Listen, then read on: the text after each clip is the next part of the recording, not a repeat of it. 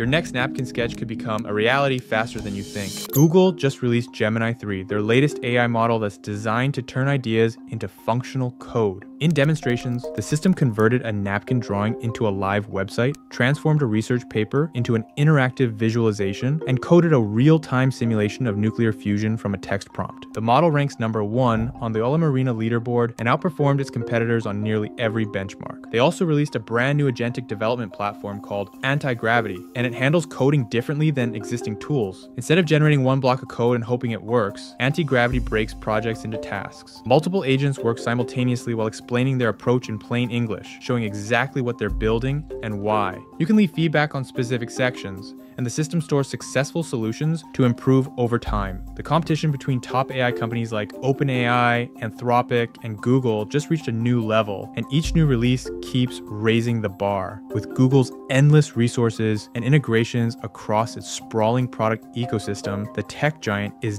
definitely flexing some serious muscle as the industry transitions into the next generation of frontier models. If you want to stay in the loop with the latest in AI and robotics, follow for more.